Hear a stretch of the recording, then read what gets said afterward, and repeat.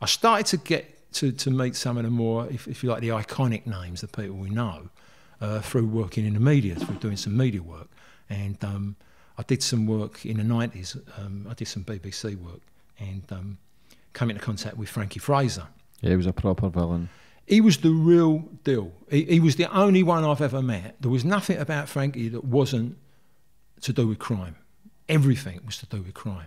Very bright, very sharp. Um, I worked with him in the 90s on a program, and then I worked with him in, in the late 2000s on, on, a, on a program, on a, uh, for, for a TV program.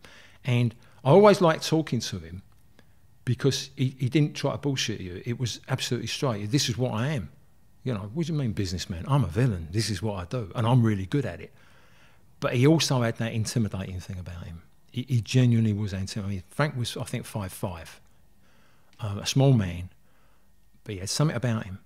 He had an aura about him that was intimidating right to the end. You know, I think he was in his 80s when I last saw him, and, and he was still, this is who I am, this is what I do. But he, he loved it. It was with him. It was joyous, you know. When he cut people, he talked about how he used to cut them and he'd do this and do it. You flinch and oh no, you know, yeah, I did this, I did that, and he was this and he was that you know, he, he spent over 40 years in prison, didn't have a day off for good behaviour. That, that, was, that was him. He was a criminal. It's what he did. It's who he was. It's, it was his identity. There was nothing else about him that wasn't to do with that, you know, that wasn't to do with, with crime. And he had a, a mind like a trap. He could go back and talk about yeah, 1938, um, some magistrate's court, the name of the magistrate, and, and, um, and Jack Spot uh, grassed up someone else in that court, and he knew the guy who did it, and knew his uncle, and knew his relations, and he knew it. That was his world, you know. He really knew it. And if you said something, I, I spent a lot of time with him, and you, if you said something that was wrong, he said, "No, you're wrong there, boy," because it was bang, bang, bang, bang, bang. This is this is what I am. But the intimidating thing, when we went to we went to meet him, I was doing a radio program for Radio Four about crime in the Second World War, and that's when Frank really started to get involved, you know, in, in, in crime. And we went to his flat. He was living in the Angel then, and um, we I was with a BBC producer, and we we rang the uh, the entry phone, and a voice came. He said, "Hello, uh, hello, hello, uh, Mr. Fraser. It's uh, BBC here. Hello, this is John Major, who was the Prime Minister. This is John Major." And we looked at each other. God, he, he really is mad, Frankie Fraser. You know, he's bonkers. What's going on? What do you want, John Major here? What do you want? Uh, uh, just joking, boy. Come up. So he's got you. Know, he's got you. That manipulate. That's what proper gangsters do. They manipulate. They manipulate. So he's got you on the back foot straight away.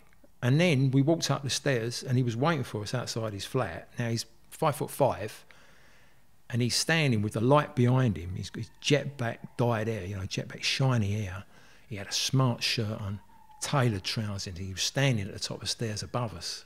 You know, he knew what he was doing. Everything about him was about manipulating the situation, presenting himself in this intimidating way. Once we got in his flat, he was an absolute gent. He was very good, fantastic.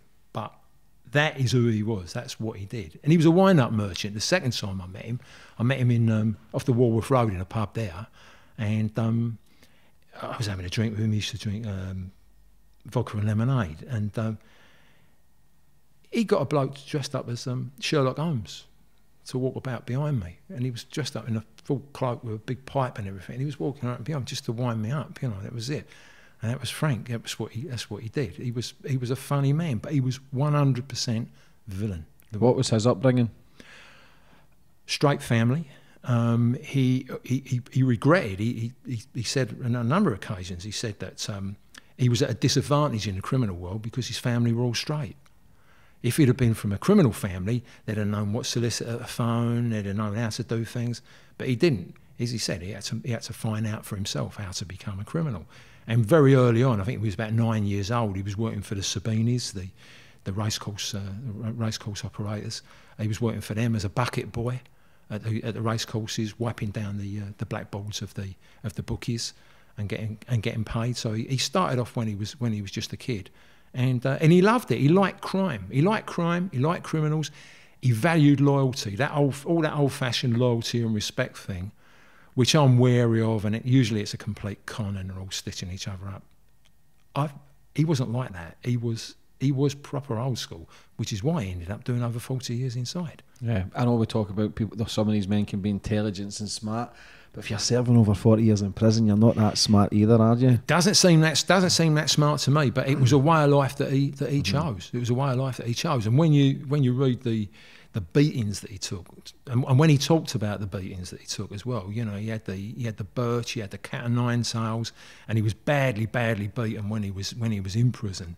Um, by by, the, by prison staff, you know, and he dished it out as well. It was it was a way of life. Violence was a way of life, one hundred percent way of life. He liked money, he enjoyed money, but violence was really important to him, and villainy was everything, absolutely everything.